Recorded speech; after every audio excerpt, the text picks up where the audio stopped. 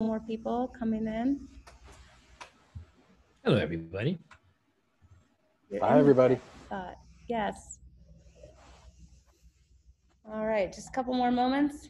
Thank you for joining us at the mill. Uh, we are in our annual Innovation Week. We dedicate the whole week to en- entrepreneurship and technology. Today, we're featuring one of our core sponsors, MetroStar Systems. Uh, they're not only a member here at the mill, but um, just a really great supporter of everything we're trying to do in Bloomington. So we have Hussain Sultan and Ben Lindquist with us today, and they are going to do a much better job introducing themselves than I could. So I'm going to kick it off to Hussain and let him tell you everything he's going to everything he knows about scalable data processing and machine learning in Python. Okay, thank you so much.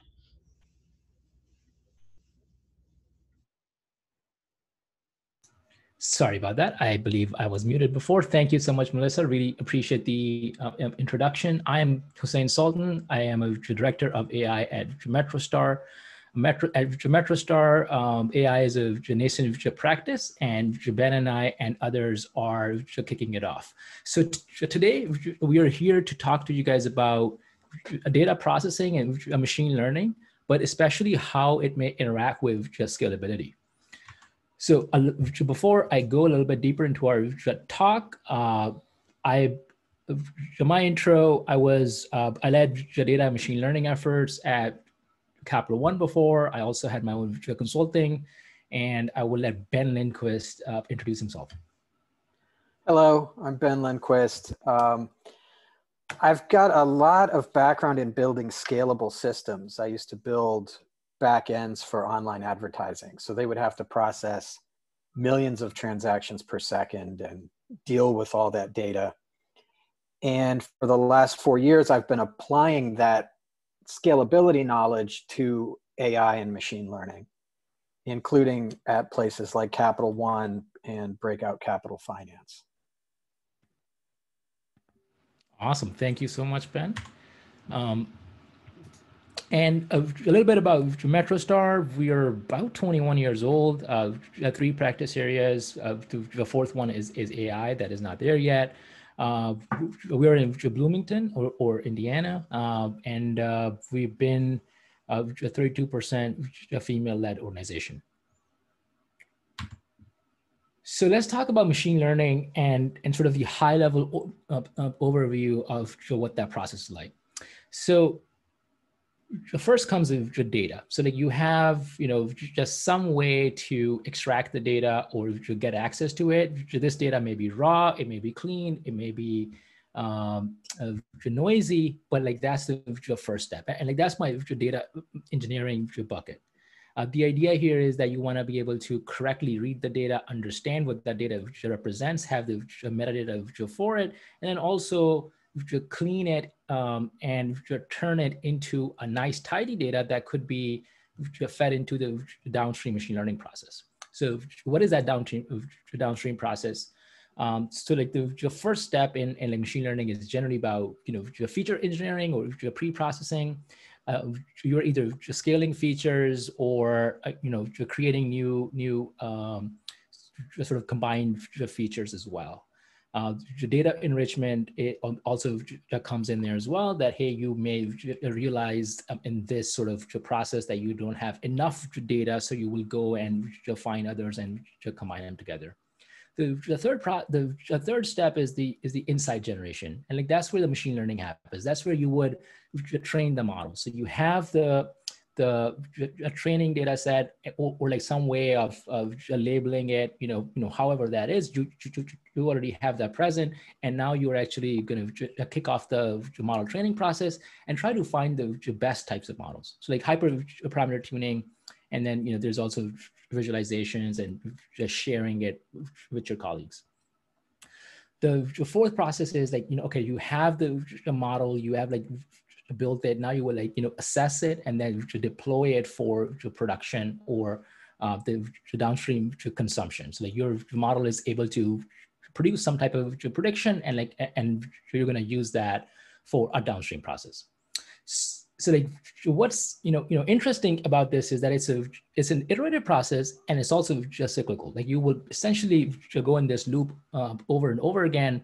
You may bounce back and uh, back and forth between insight generation feature engineering uh, uh, or the, the model evaluation as well.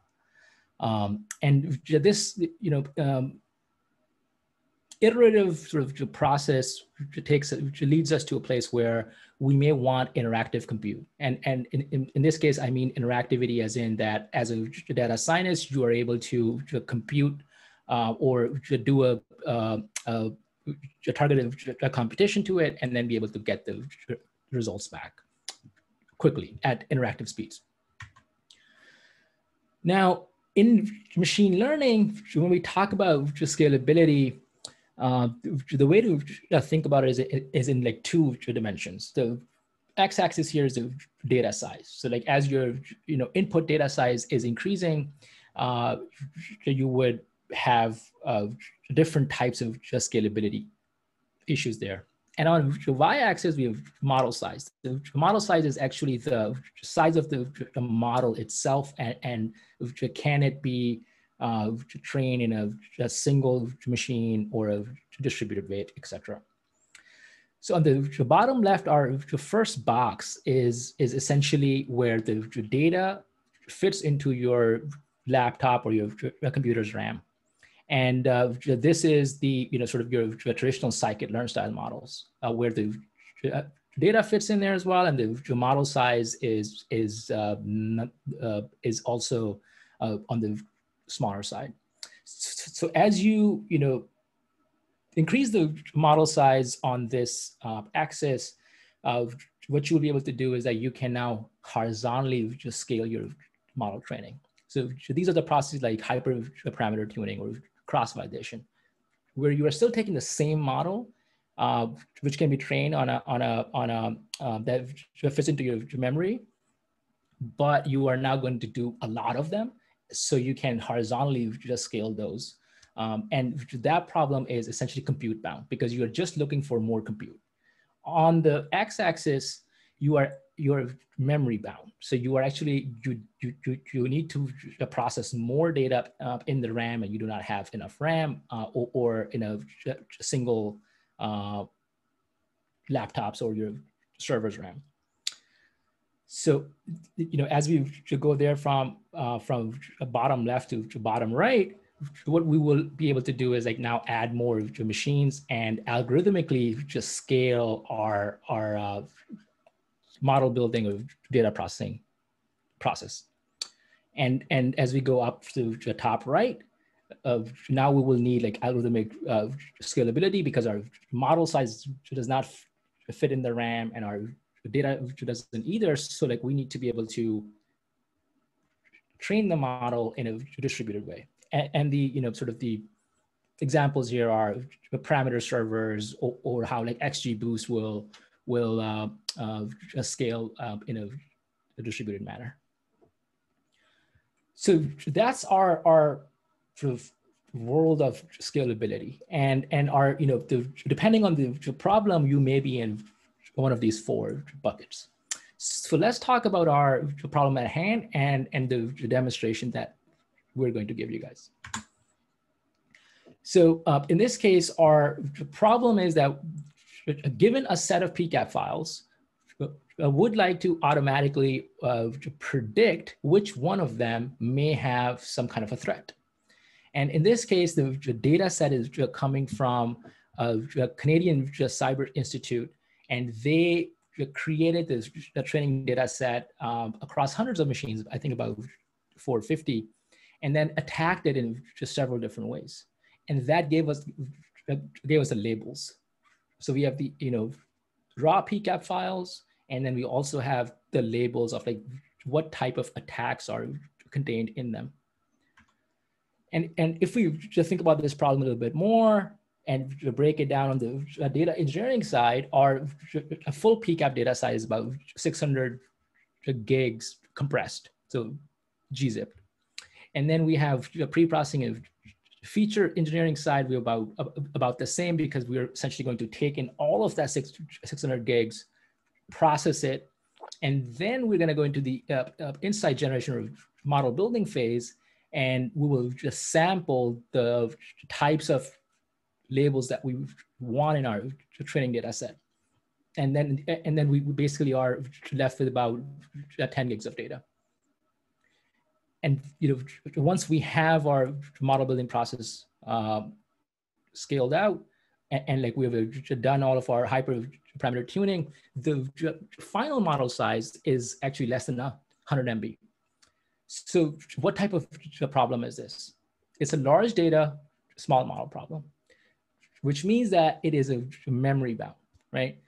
So, and then Bob's your uncle, like we have, you know, sort of this memory bound, um, uh, you know, the, space where we will need to distribute our data processing. However, the model the fitting or the model the training can be done on a single machine. With that said, I will hand it over to Ben Lindquist and he will walk us through how we, we, we went about processing this type of data and then also how do we just scale it and the, the properties of it. Ben?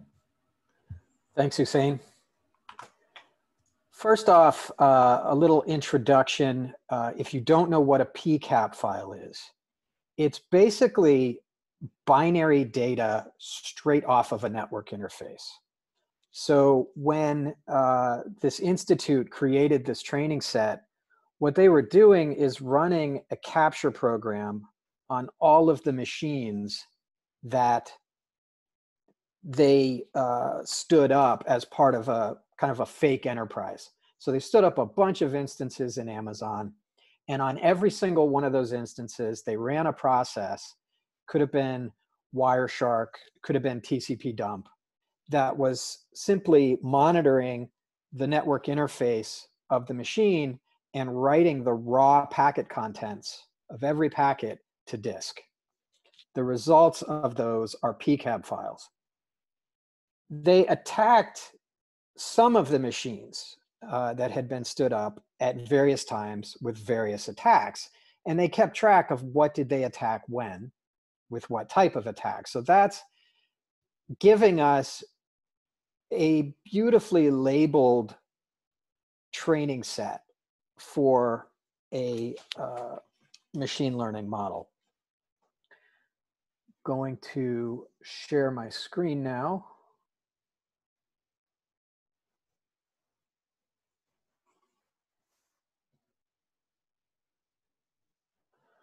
Okay. So uh, this is a Jupyter notebook and uh, it's running in Jupyter Lab on MetroStar's open source machine learning environment. This lets us do a single sign-on into the Azure cloud and uh, run all kinds of different projects. And it gives us access to scalable data processing using a system called Dask. Um, so as Hussain mentioned, there are 600 gigabytes of PCAP files in this data set. Um, to explain some, some prep, the first thing we had to do was download all of that. It was in gigantic uh, zipped up tars and we had to unzip those and pull out the individual files and then upload those to Azure Blob Storage.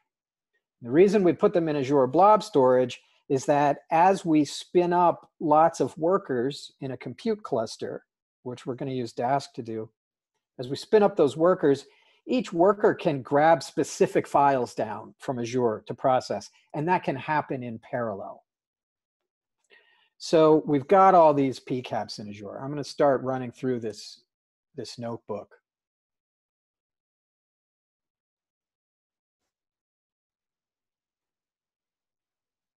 I've connected to Azure now, and you can see we have 4,453 PCAP files. And here's an example name of one of them and size. This one's only 470K. Some of these files are uh, as big as 10 meg. Let's let's look at what are the biggest files here. So actually, yeah, th this is a pretty large one. This is four gig. That's a big file. Uh, we've got a lot of data here. Now there's some uh, munging we have to do because you, have got all these files uh, and the way that the data is labeled is based on the file name. The file name includes uh, the IP address of the machine where the capture took place, and it includes the day that was being captured. The attacks are listed by the target IP and the time it took place. So we have to, for, to label our data, we have to match those things together. And that's what this next uh, block of code is gonna do. So we build a dictionary of, these are all the combinations of machine and day that included attacks. And the dictionary also includes what type of attack was it that lets us now build a set of files that we're actually going to process. We're not going to process all 600 gig. Um, but what we want to do eh, as a data scientist, the, the task here is to get the right subset of data that's going to allow a model to be trained well. So the right subset includes all the attacks. So that's what this next part does is it specifically includes any file that has attacks in it. And that gives us 23 files. Now, the right subset always includes more than what you're looking for. It needs to include a lot of data that doesn't have what you're looking for. That way, the model's presented with positive examples and negative examples. So we're going to randomly add other files into this. So now I've got a set of 500 files and it's 57 gigabytes of size. And that is too big to deal with uh, featureization just on my machine so now what I'm going to talk about is what was our approach to try to detect these attacks within the files. And we had an interesting idea, eh, kind of an experiment. We wondered if we were to visualize the TCP flows and hand the visualizations to a convolutional neural network would we be able to detect time series behavior without having to use a recurrent network model? A CNN uh, is the basic type of image detection neural net. These are what have had so much success in classifying images within or, or classifying objects within images. Um, and you can find standard examples of how to use a CNN, standard tutorials, and they'll do really well at saying, is that a cat or a dog in that image? Um, we wanted to use that because it, it just works so well and it doesn't require a lot of tweaking. You have to feed it an image. So the notion of taking something that happens over a time period and turning it into an image as your featureization. That's the interesting technique we wanted to explore. Now, a TCP flow, what is that? That is a series of packets that are sent over a time period back and forth between two specific machines. And all of the attack flows that we're looking to detect are that.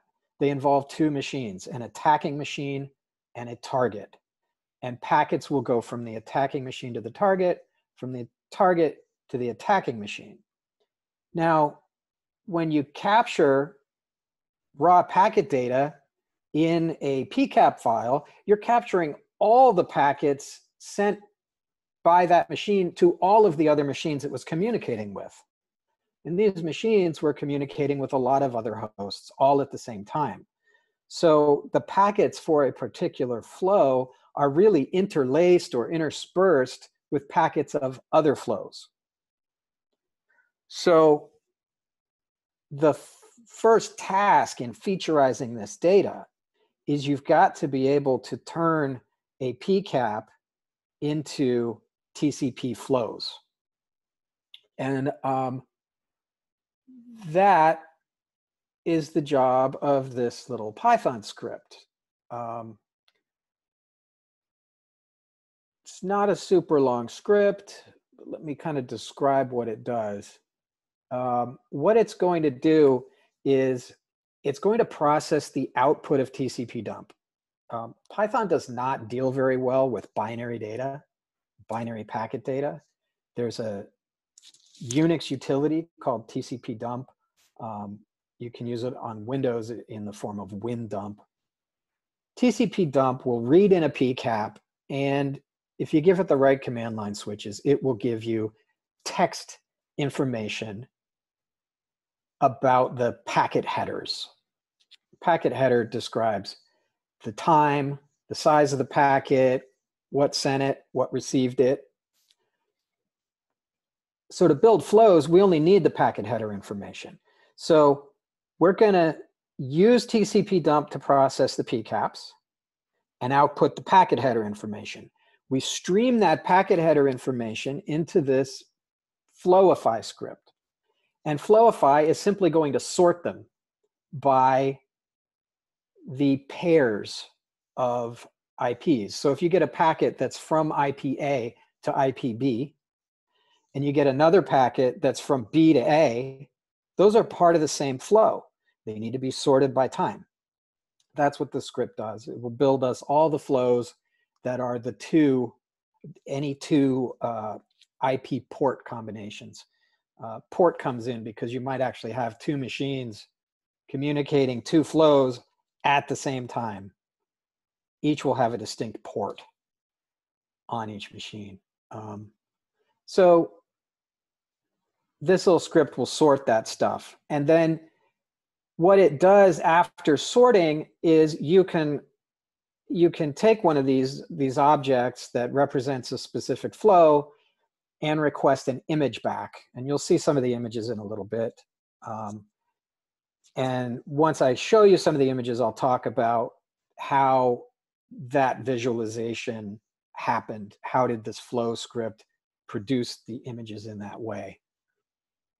Let's go back to Flowify. So, so our featurization process, we've got to run TCP dump on the file. We've got to stream the output of that into our Flowify script, and then collect the flow objects that come out of that. We need to do that across 500 files now. So we're going to use Dask. Uh, Dask in our uh, compute environment lets me request a compute cluster dynamically from Kubernetes. So we've got Kubernetes stood up in Azure. It's got a, a, number of machines joined to it that gives us raw compute capacity. And I'm going to build up a cluster now. So I first have to connect to the gateway and I need I now tell it uh, what type of containers I want as workers in my cluster. I'm going to request two cores. That's important uh, that it's not just one core because I'm streaming from Azure into a TCP dump process and then into a Flowify process. So there are actually three processes that need to run to featureize one of these files. So it's helpful to have more than one core. I don't need a lot of RAM, however. The files Many of them are bigger than a gig, but I never have to put a whole file into memory at once because I'm streaming from process to process to process. Um, and then I say what image I would like. Then just a, a quick thought here of just like streaming that like large PCAP file that will not fit into the one gig of RAM. That's an example of algorithmic scalability where we are now just streaming it instead of you know actually loading it up all the way into our into our memory. Okay, so you can see the workers spinning up here. My cluster is being built.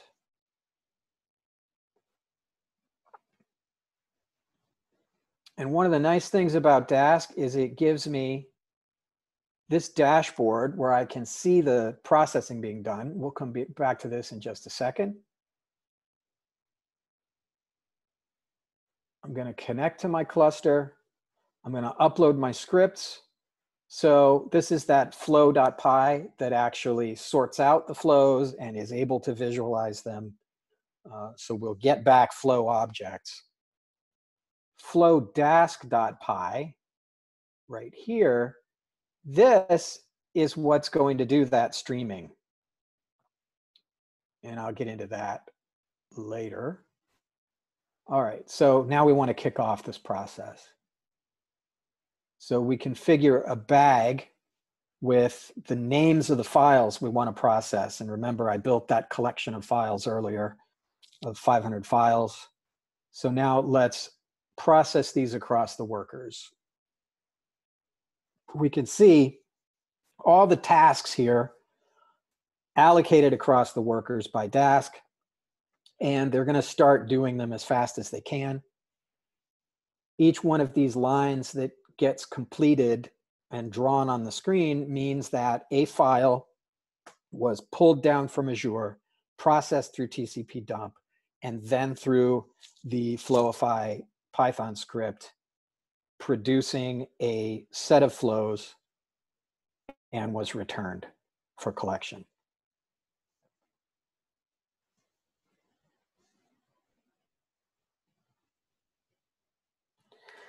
And at this point, I want to check the Q&A. Oh, well, I can't see it. I'll check it once I stop sharing. Yep, I can't see any any of the Q and A's yet. Okay.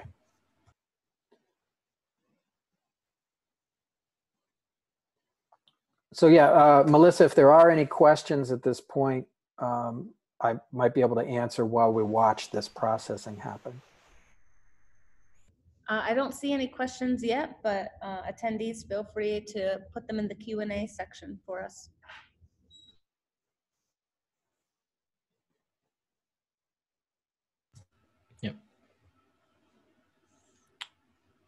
A little bit about Dask here. Dask is a Python native, uh, basically a, a scalable Python framework, and it has some cool things to it. So like what we're using right now is a, a Dask.bag, which is a, a collection.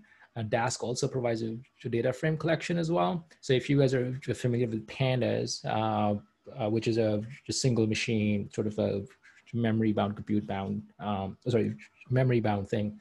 Uh, for pandas, um, uh, Dask can, can essentially just scale that out as, as like a Dask data frame collection. So you get, you know, a familiar API and so like, you know, as long as you know a little bit of pandas, you can still use Dask data frame and the process on, on like large data. What we're doing here um, is a little bit more custom, right? Where we're taking PCAP files, we are, we are generating um, a way to to process them in your memory or in a, a small memory footprint. So there are some optimizations here as well. Hussain, can you see the questions while I leave my screen yes. Um, shared? There are a couple of questions. How do you know when you have enough data before you can move forward? I think that's something, Ben, you are about to answer next. Well, I, I like to take a guess at it and then iterate. with amounts of data. Typically, I would take a guess. So, you know, my guess here, my initial guess, I might have tried 100 files. Um, and then I would train a model and see uh, how that model behaves. Um, does it overfit after just a few epochs? Uh, what kind of accuracy do I get? And then I would try more data and uh, try to get a sense for how much predictiveness is in the data. Um, you can kind of tell from your model how much predictiveness um, it was able to find. So you have to iterate. And if you go back to Hussain's first slide where he showed that four step process, really you might go from step one to two and iterate between those for a while until you think your featureization is good and then move to three and try training your model and see that well you really don't get any accuracy and go back to one and so on. Uh, so we've processed this stuff. So let me let me proceed here and um, and then i'll is there another question hussain that i should be ready for Yep. So there's another question. How good is the system at triaging and restarting if there is an error along the way into processing run? He's saying, can you talk to that? Um, Absolutely. I know Dask is very good at that kind yeah. of thing. So the Dask has has uh, task restarts as well. Um, but it is generally like the Dask is a, a low level framework. It will optimize your, your task scheduling and like, and like make sure uh, that that uh, you know, workers that need more work have it.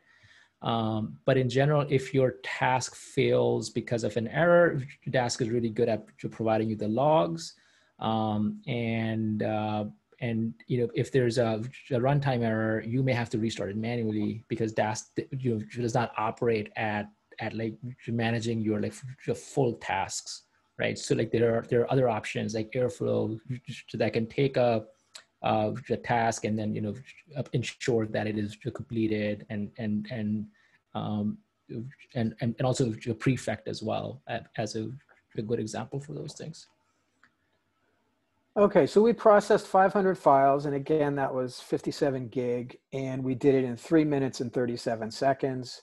That was across 61 workers. And we got back our flow objects. So first thing is take that dictionary and uh, build a training set. And I just did that. One thing I, I want to note here that in the Flowify that we sent to the workers, I'm sampling in here. Um, so I pass in that dictionary that lets uh, attack labels be determined. And that's important because if if I were to pass back every flow from those files, I would blow up the memory in my notebook, in, in the Python kernel that my notebook is using.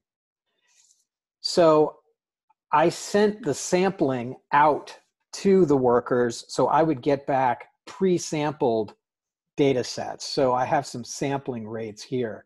And this is something that I really did a lot of trial and error to figure out what's a good sampling rate for these things. And this has a lot to do with balancing the data set as well. Some of the attacks generated so many packets, I did not want all of them. So I have different sampling rates for different types of attack. And, and that, that's something uh, very important when you distribute your featureization, you will probably need to distribute your random sampling as well and sampling is is important here because we want our training data set to have all types of attacks. And, and we want to make sure that the model sees each attack uh, with a weight that we think is appropriate.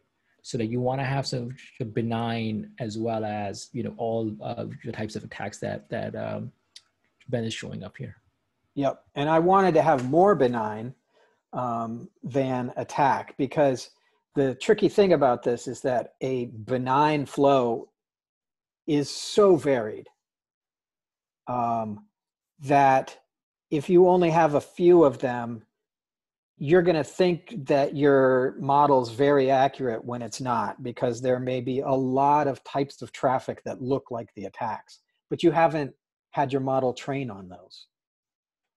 Um, so here's an inventory of what we got back. We got back 50,000 benign flows, 10,000 DDoS low orbit ion cannon, UDP flows, 14,000 bot, five infiltration, etc. Now we're going to look at, at what those images look like. And we can talk about the visualization style here. So I'm showing the infiltrations because they're the most interesting. So here we have five examples of how we are featureizing this TCP flow data. Time moves from the left to the right. So the first packet sent is all the way on the left, and the last packet sent will be farthest to the right. One of the IPs is at the top and the other IP is at the bottom. So every packet is a line. So suppose IP address A is top and IP address B is bottom. All the lines coming down from the top were sent from A to B. All the lines moving up from the bottom were sent from B to A. Pretty simple. The length of each line is proportional to the size of the packet, but on a logarithmic scale. So you will see more difference in terms of screen real estate or, or image real estate, the smaller the packet is. The larger the packet is, the less difference, or, or let's say the uh, less difference per delta between the lines.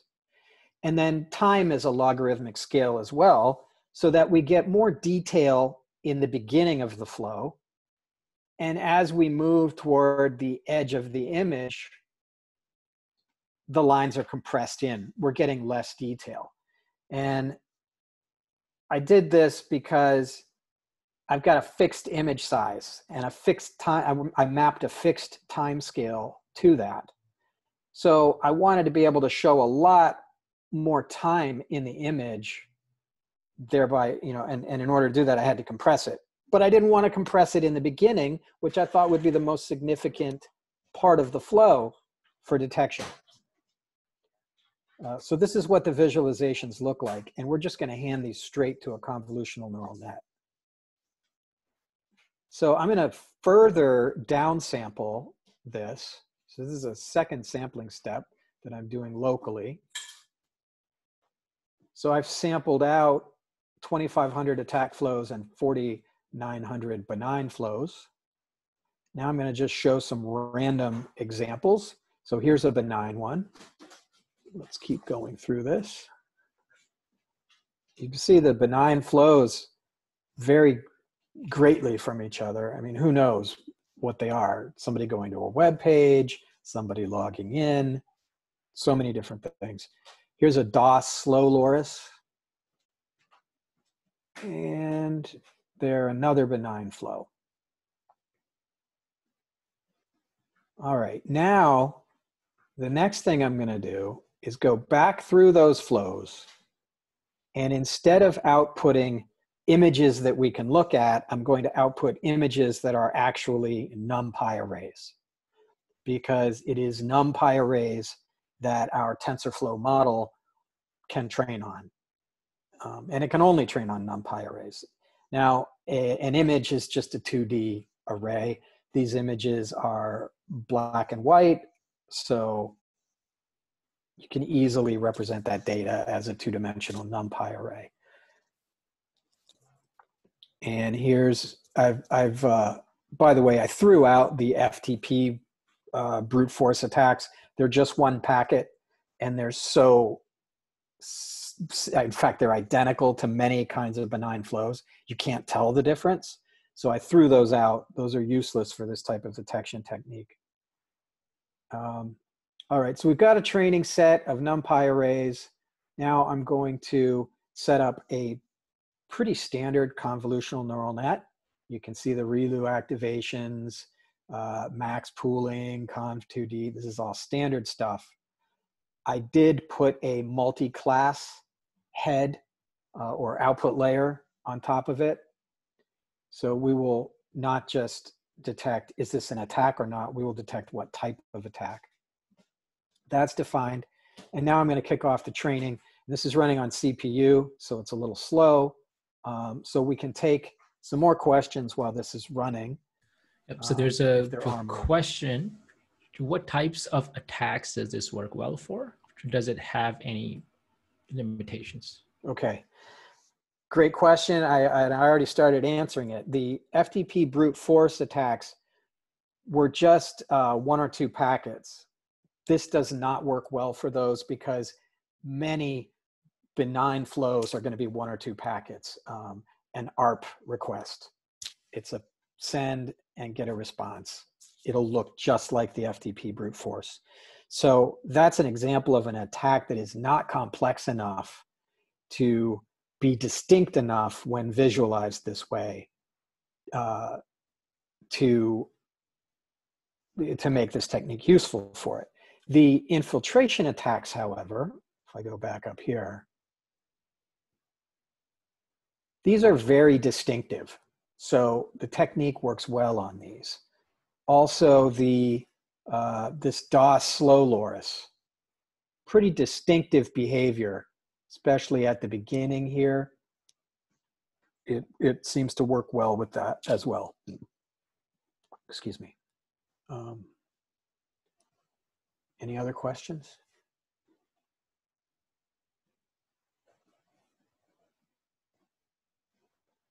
You can see we're now above 80% accuracy. And uh, once this training is done, it's going to validate on a holdout set that we created earlier. So we'll see what the true accuracy is.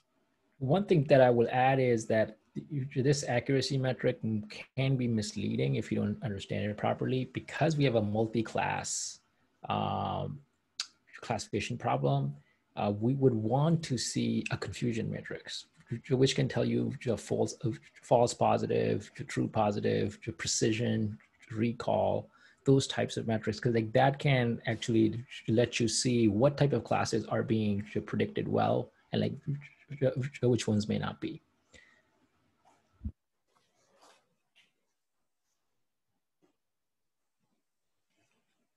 Uh, also, the the other color is that uh, this is taking a long time because we're doing it on a CPU.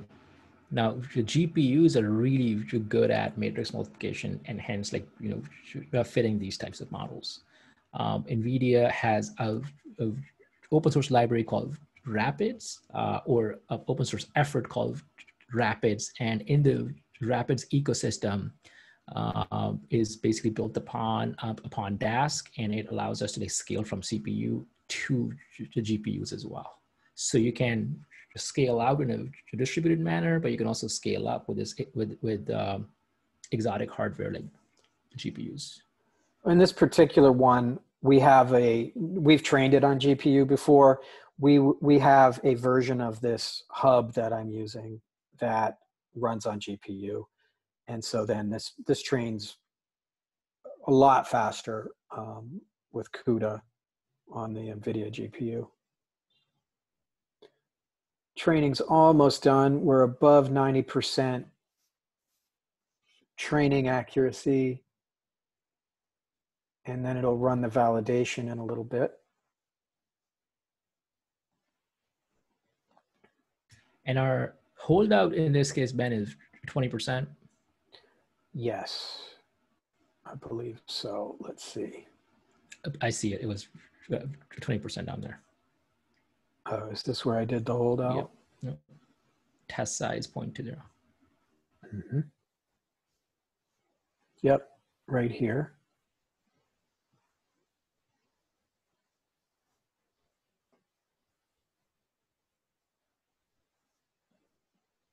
Okay, so validation accuracy 99%. So, uh, what this basically told us is that this is a useful technique to explore further. It's possible to take time series data and use a visualization to uh, feed that into a convolutional neural network. Absolutely. We have one more question. Can the triggers and alerts be set for types of attacks? That's one of the things you would use something like this for, definitely. Um, you have to worry, though, about inference time. Um, this net isn't super big, uh, but if you were processing live network traffic with it, you'd probably have to scale it out quite significantly in order to process the packets fast enough to do live alerts. Um, so I would be more likely to use this uh, instead of in an alerting, alerting mode, I would use this for threat hunting and take specific machines within an environment, do packet capture on them, maybe run a week long capturing uh, period, then gather that and then spin up a large infrastructure and scale it out to process all of those at once and f- look for indications of advanced persistent threats. Uh, so I would probably retrain this on uh, the types of rootkit traffic um, and tunneling traffic that would be indicators of APTs, I would use it that way. I, I think the inference time is going to be too great to use it on live network traffic as, say, an IDS.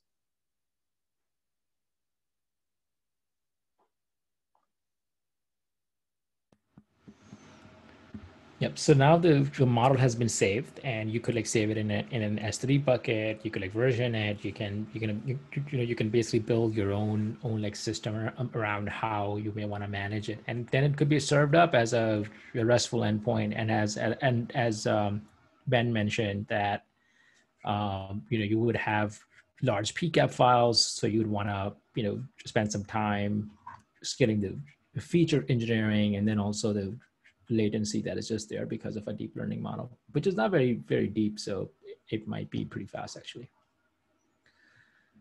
Um, also, uh, one more thing to add before we, we essentially go to like Q and A's, uh, we will have this code open sourced and, and available to you guys. Please follow MetroStar Systems on Twitter, um, and and like we'll be making those announcements um, as this code is finalized and we have this uh, demonstration available to you guys as well.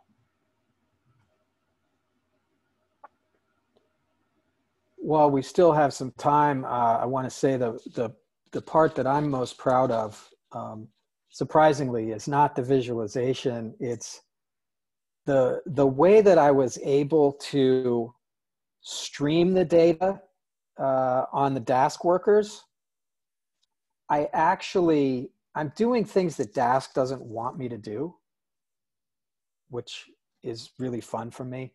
I actually the the script I send to the workers writes a Python script and then executes it in a separate process and creates a FIFO, a Unix FIFO on disk so that it can it can spawn off the process that streams the file from Azure into the FIFO.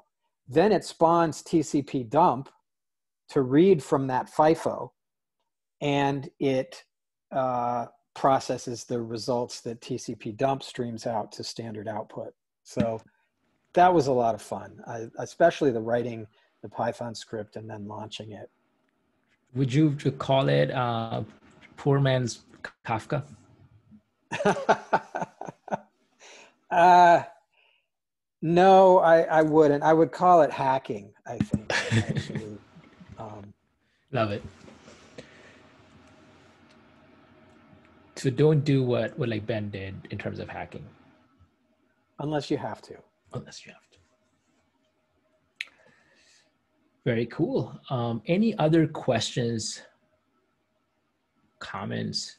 I'm also monitoring chat as well.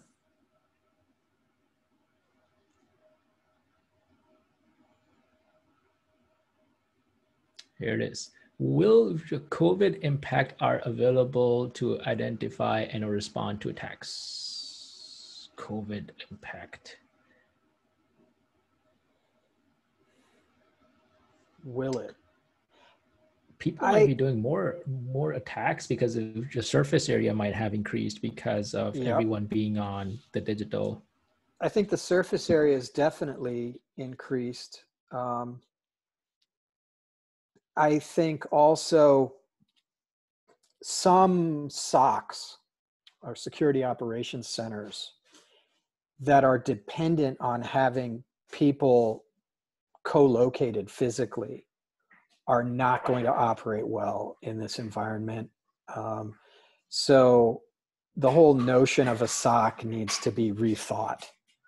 Um, and, and you need to be able to have people uh, doing their jobs virtually, which one would think would be pretty straightforward in the case of, of cyber defense. Um, but in a lot of environments, it might not be. They, they may not have set up all their accesses for remote because they were concerned about uh, security. So the SOC has to be rethought. That would be my comment.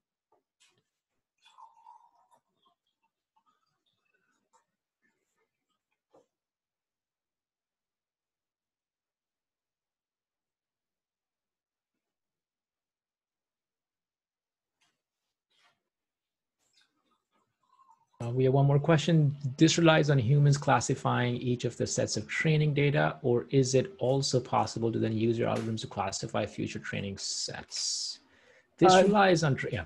This this one what's nice about this one is this is this is a special case it's not really humans classifying the training data this was humans initiating attacks and simply recording what attack they ran and what their targets were and that allows us to label the training data just from the inventory of attacks so it's it's sort of a hybrid. There's not a lot of human work here um, to to label this stuff. But this brings up an important point, which is the data labeling. So a big part of machine learning relies on like labeled examples to like learn from. And that does tend to be hard to like generate or could be costly to like to generate those types of Mhm. data sets. Like you could imagine that for this data set, there was a 450 machines were were run over a significant time, uh, amount of time, and it would it it basically took a lot of your coordination um, to to generate that. I have a question for you, Hussain. Go for it. Um, what kind of in, in what kind of use case would we want to use Kafka? um, um, enterprise uh, enterprise streaming, where you have many many teams, um, Okay. and you you also require scale, where you need to just scale out with the size of data.